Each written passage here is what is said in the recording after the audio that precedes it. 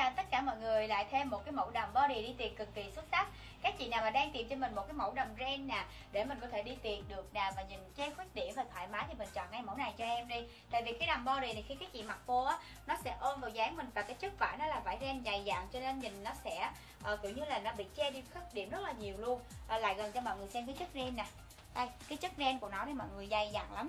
Và cái ren này là ren nhập cho nên khi các chị mặc vô á, cái đường ren của nó nhìn nó mềm mại nhưng mà nó sẽ đứng được cái form của cái đầm. Chứ nó không hề bị nhão hay là quá cứng nha. Và chất vải ren nó sẽ có co giãn nhẹ cho mọi người. Mặc rất là xinh, bên trong nó sẽ có một cái lớp lót nè. Phía sau lưng này em mặc hơi rộng á, các chị nhìn tạm giùm em ha. Đó, cái này thì nó sẽ có size cho các chị luôn. Nhưng mà tại vì cái vòng eo em nó nhỏ quá cho nên em phải kẹp lại. Các chị nào mà vòng eo mà còn nhỏ hơn em thì Ờ, à, các chị chịu khó về bớt một tí xíu nha. Đầm này bên em nhập về có ba màu bây giờ em sẽ chuyển sang hai cái màu còn lại cho các chị xem. Đợi em chút xíu nha. Các chị có thể mặc đi làm cũng được nhìn cũng rất là lịch sự. Có tay và cái phần cổ của nó cũng rất là kín đáo các chị. Cổ là cổ tim nè còn chạy ren rất là đẹp luôn lại gần cho mọi người xem màu xám ha. Màu xám mặt tay cực kỳ. Các chị có thể phối với lại cái túi sách đen như thế này. Đó mình đi tiệc đúng không? Cột tóc hay là mình xõa tóc gì là đều hợp hết các chị. Và cái đầm này, bên em thì nó sẽ có ba màu thì lúc nãy em mặc cho các chị con màu đỏ rồi nè. Rồi tiếp theo là màu xám nè. Còn thêm một cái màu nữa cũng cực kỳ xinh xắn luôn. Các chị nhìn kỹ cho em màu xám rồi em chuyển màu khác ha. Có tay nè các chị.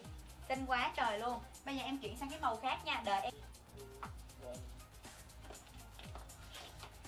Chị, một màu sắc tiếp theo, màu xám. Em thấy màu xám này thì cực kỳ sang trọng luôn, nhìn nó tay như thế nào với các chị. Các chị có thể phối với lại túi sách bất kỳ màu gì cũng được ha. Màu đen, màu trắng là màu da cũng rất là xinh. Mang thêm một đôi giày màu đen, màu trắng, màu xám, màu da. Nói chung phụ kiện dễ phối nè các chị. Và cái màu xám này, em nghĩ các chị có thể mặc đi làm cũng được. Nhìn rất lịch sự tại vì nó có tay. Cổ tim chạy ra rất là xinh, che được khuyết điểm cho mọi người luôn. Lại gần cho các chị coi màu xám nè.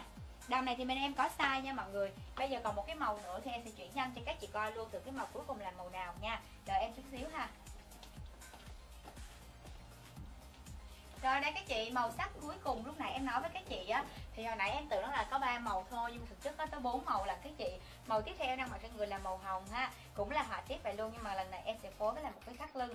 Nhìn cực kỳ xinh các chị các chị có thể phối với lại màu nào cũng được. Màu hồng, màu trắng, màu đen, màu da, màu nào cũng xinh nha. Rồi phía sau lưng nè, cái đầm này thì em mặc vừa hơn với lại em phối thắt lưng, cho nên em không có kẹp ở phía sau. Màu này là màu hồng nhạt cho các chị chị nào mà thích nhẹ nhàng thì mình chọn cái màu này.